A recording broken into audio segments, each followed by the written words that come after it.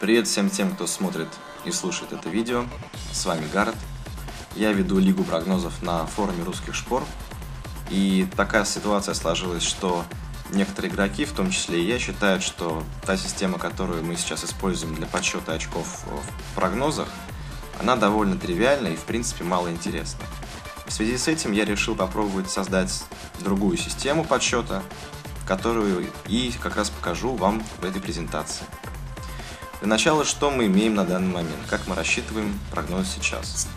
В каждом туре у нас имеется список матчей, которые каждый игроки прогнозирует. За правильно угаданный исход мы даем одно очко. За правильно угаданный счет 3 очка. Ну и, соответственно, 0 очков, если ни исход, ни счет не были угаданы верно. Таким образом, зная в конце концов каждый э, результат каждого матча, мы начисляем игроку вот, те самые очки. Как я уже говорил, 0 за неверный исход или счет, 1 за угаданный исход и 3 за угаданный счет. Затем эти очки мы суммируем и получаем, соответственно говоря, вот общее количество очков, которые игрок получает. И так из тура в тур. Затем очки, соответственно, складываются и отправляются в общий зачет. Система простая, в принципе, да, и... Ну, зато она не так интересна. Я попытаюсь предложить что-то более новое.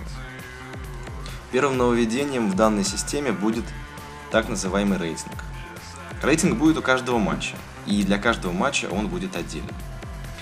Рейтинг, по сути говоря, будет показывать, насколько тот или иной матч оказался труден или легок в прогнозировании. Чем больше людей угадало исход и счет матча, тем его рейтинг будет ниже, и тем меньше за него будут получать очков игроки. Верно и обратно. Если игроков, которые угадали исход или счет матча, мало, его рейтинг поднимается, и каждый из этих игроков получает больше очков в свой зачет за тур. Собственно, сама формула выглядит вот так. Bets – это числитель у нас количество ставок на этот матч, то есть, грубо говоря, игроков, которые на этот матч ставят, а в знаменателе у нас сумма, которая состоит из количества исходов всего угаданных этими игроками э, для этого матча, плюс количество правильно угаданных счетов, помноженных на 3.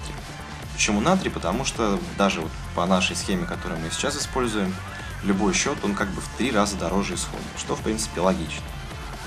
Итак, давайте попробуем привести пример. К примеру, у нас было сделано всего 6 ставок, то есть 6 игроков поставили на определенный матч. Двое из них угадали его исход. И один угадал, соответственно говоря, его счет. В данном случае рейтинг, рассчитая по формуле, мы получим равным 1,2. Итак, попробуем привести еще один пример. Было сделано 7 ставок, Три исхода угадано, и было угадано два счета. В данном случае рейтинг составит 0, 7, 7, 7, 7, 7. В общем, куча семерок, и в конце еще и будет восьмерка. Ну, соответственно, в данном случае, для того, чтобы проще рассчитывать, мы это число округлим. Но округлять мы будем любые числа в рейтингах всегда только вверх. То есть, соответственно, если будет, допустим, там, даже 0, 4, 4, 4, 4, все равно будет не 0,4, а 0,5. Это сделано для того, чтобы, ну, в общем-то, динамика очков была больше, чтобы очки было зарабатывать не так тяжело. На самом деле не слишком сильно влияет, но вот я так посчитал, подумал, что вот так вот будет лучше. В любом случае, все это пока корректируется, тем не менее мы продолжим. Итак, э, мы теперь будем давать 10 очков вместо одного за угаданный исход, 30 очков вместо трех за угаданный счет, ну и также дырку от бублика, если игрок не угадал ни исход, ни счет. Это сделано тоже в связи с тем, чтобы вот просто было удобнее считать э, окончательные очки. Ну, как видите, рейтинг число дробное, десятичное, вот, поэтому... Итак, ну и, собственно говоря, имеется рейтинг, имеются очки, которые вот начисляются за угаданный исход и счет. В конце концов, мы получаем нехитрым способом, а именно умножением, вот количество очков за каждый матч. То есть это будет 10 или 30 или 0, в зависимости от того, правильно ли вы угадали и вообще угадали ли что-либо, умножить на рейтинг. Итак, пойдем дальше. Еще одним нововведением, собственно говоря, пока что последним, но тем не менее самым, наверное, интересным, будет серебряная ставка. Что это такое? Один раз за тур вы можете на одну из своих, одну из своих ставок сделать серебряной. Только одну, но любую, по вашему усмотрению. То есть, из, к примеру, 10 матчей, на которых вы поставили, один из них вы сделаете серебряным. Что это вам даст? Это даст вам удвоение очков за этот матч. То есть, если вы угадали его исход, он будет умножаться там 10, к примеру, на 2, ну и умножить на рейтинг, естественно. Если вы угадали собственно говоря, сам счет, то это будет 30 умножить на 2, ну и умножить, естественно, на рейтинг. Попробуем привести пример. Рейтинг одного матча 1 и 2. И вы, к примеру, сделали ставку, угадали его исход. Соответственно, получает 10 очков. Нехитрым способом мы вычисляем, что общее количество очков для данного матча у вас будет 12. Но вы ставите серебро на него и получаете в два раза больше. 24. Еще один пример. Рейтинг матча 0.9. Вы угадали его счет. Таким образом, вы получаете за него 27 очков. Но вы ставите серебро и получаете в два раза больше. 54. В принципе, что касается серебряной ставки и рейтингов в принципе. Ничего сложного, все вполне логично. Но учитывая, что серебряная ставка довольно такая интересная вещь, то есть если вы поставите на матч, за который вы не получите ни одного очка, то есть ни 10, ни 30, не угадаете ни исход, ни счет, ну, соответственно, ваша серебряная ставка попадет. Потому что 0 умножить на 0 будет всегда 0. Здесь просто необходимо понять, что необходимо выбирать наиболее такие матчи, которых вы уверены. Хотя, впрочем, опять же, тактика у каждого своя, и вот именно данная вещь, такая как серебряная ставка, принесет большое разнообразие. Вы сможете напрямую, а не как-то косвенно влиять на свои ставки. Пойдем далее. Сейчас мы рассмотрим пример в первом туре, к примеру, как у нас происходила ситуация. Вот у нас имеется 10 матчей, на которые необходимо сделать прогнозы. Я взял некоторых игроков, 7 штук, которые мне попались. Э, и на примере их ставок я сейчас попробую конкретно уже показать вам, как происходит расчет. Э, я предположил, что каждый из них сделал еще и серебряную ставку, но это я сделал абсолютно случайно, чтобы никому не было обидно. Итак, для начала мы рассчитываем рейтинг. Вот, собственно говоря, его формула. Рейтинг для первого матча мы считаем число тех, кто ставил на этот матч, а это 7 человек, делим на число угаданных исходов, а такой угаданный исход у нас всего один у игрока Гаррета, плюс количество угаданных счетов. Таких нет. И вот по этой формуле рейтинг этого матча будет 7, что, в общем-то, довольно много. В принципе, не довольно, а очень много. Таким же нехитрым способом мы считаем рейтинг второго матча. Здесь уже угаданных исходов 4, и по формуле это будет равняться 1,8. Приблизительно. Рейтинг третьего матча, учитывая, что было угадано 2 исхода и 3 счета, 1,4. Ну и вот таким способом мы рассчитали тоже и четвертый рейтинг. Но на него никто не дал правильного ответа, скажем так. То есть никто не угадал ни исход, ни счет. 7 делить на 0 вообще-то это бесконечность, да, там и куча всего, это математика.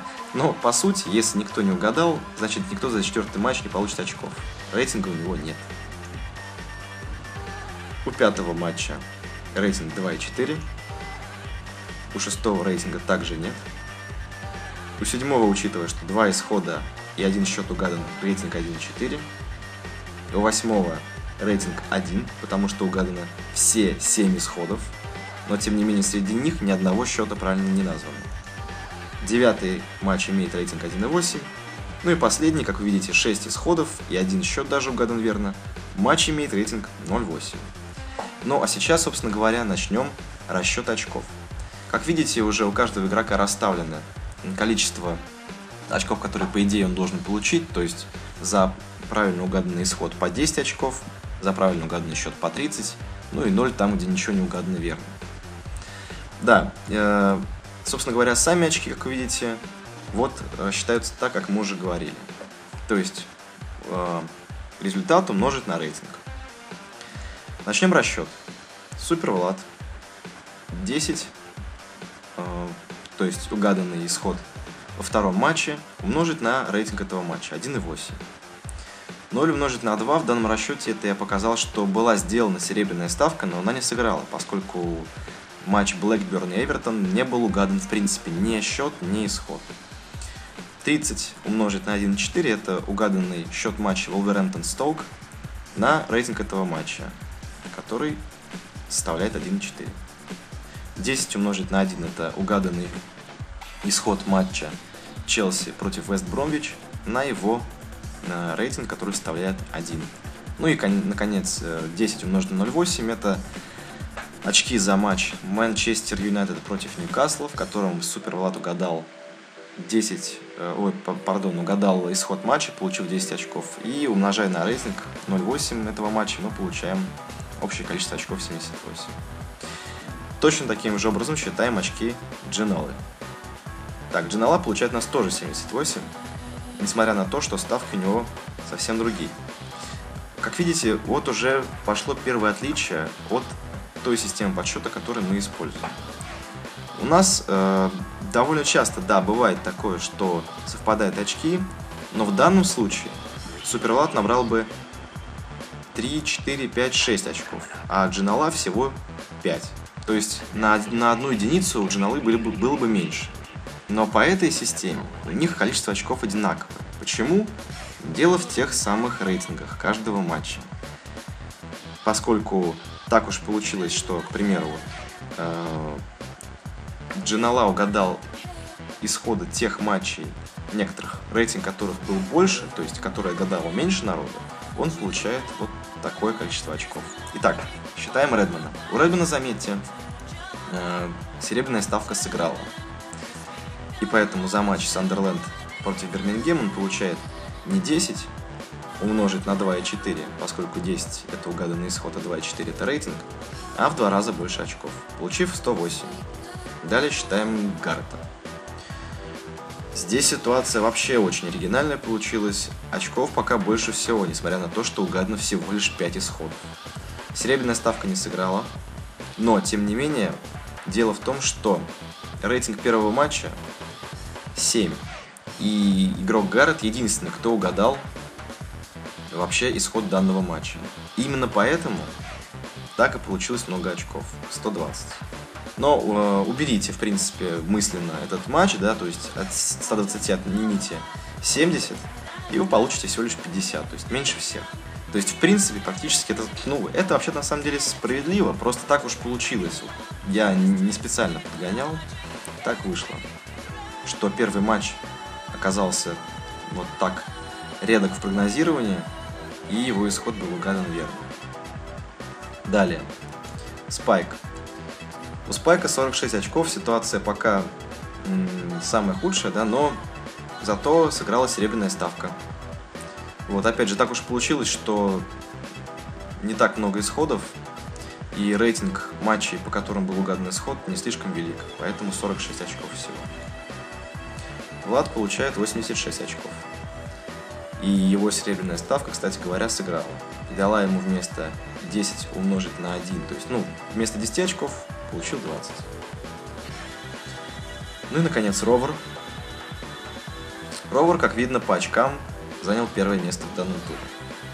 Поскольку у него сыграла ставка, серебряная ставка на матч, которым он угадал счет. То есть это очень много. 30 умножается на рейтинг матча 1,8 и еще на 2. Что можно сказать вот в данном случае? Как видите, э, данная система расчета очень сильно разнообраз... разно... как бы разнообразит подсчет очков э, в лиге прогнозов. Э, ну, просто вот у Гара это так получилось, то есть у вашего покорного слуги так вот случайно сложилось, что у меня получилось куда больше очков, чем, по идее, должно было быть. Но, однако, даже вот данный случай с этим игроком указывает, что если вы один сделали удачный прогноз на тот матч, который никто не угадал, в принципе, логично, что, по идее, вы должны получить за него больше очков. Ну, по крайней, по крайней мере, по новой системе все именно так. Э, вроде все, что я хотел рассказать, я рассказал, даже привел пример. Спасибо за внимание. С вами был Гаррет. Встретимся на форуме русских шпор или в жизни, на выездах. Всем счастливо, до свидания.